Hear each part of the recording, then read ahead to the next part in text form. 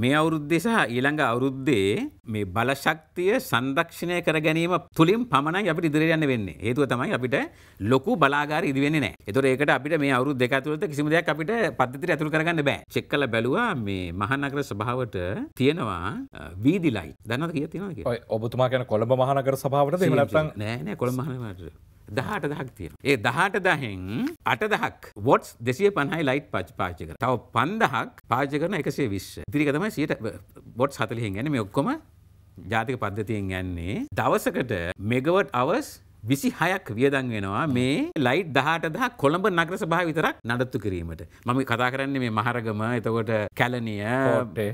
කෝටය මුකුත් නැතුව මේ මහරනකර සභා මේ කොළඹ සිටි ලිමිට් එක ඇතුළේ විතරයි. මේ தත්ත්වය අපි අනිවාර්යයෙන්ම නවත්තා ගත යුතුයි. අපි දැකලා තියෙනවා billboard name boards sign boards එලි වෙනකන් දාලා තියෙනවා. ඒවා ඔක්කොම අපි කියන පුද්ගලික ආයතන වලට මේවා ඔක්කොම නවත්තන්න කියලා.